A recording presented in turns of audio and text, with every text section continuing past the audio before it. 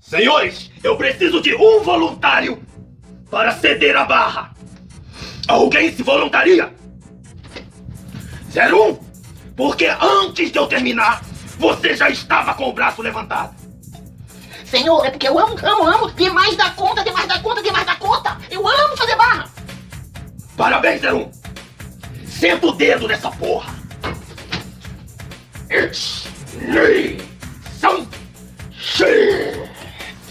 restante da tropa podem retornar aos seus lares. Amaldiçoados sois vós, pois plantarão e não colherão.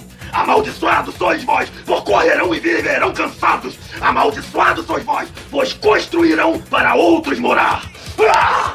Se acha que há dúvida nisso, pegue seu um grama de gordura e pergunte nos hospitais.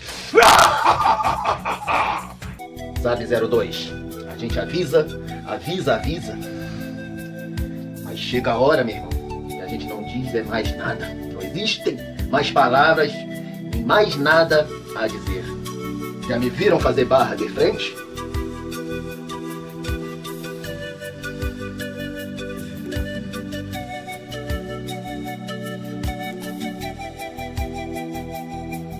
Sabe, meus amigos, desde que eu nasci, eu sempre escuto o mesmo jargão. Juntos somos fortes. Para no fim tacar fogo numa lata de lixo da Conlurb. Estranho, né?